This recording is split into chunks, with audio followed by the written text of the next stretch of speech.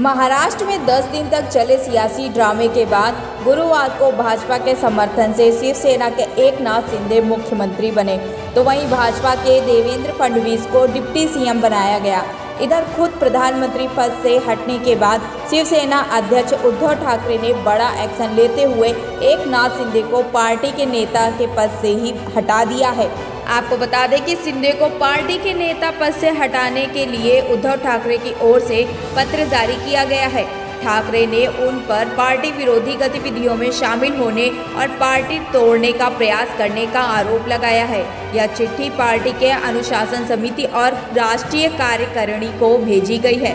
आपको बता दें कि बाला साहब ठाकरे ने शिवसेना में रहते हुए शिवसेना प्रमुख पद के बाद शिवसेना नेता पद का सृजन किया था। पार्टी में सबसे बड़ा पद शिवसेना प्रमुख का होता है। शिवसेना नेता पार्टी की नीति निर्धारण में भाग लेते हैं। Bureau Report, IPN.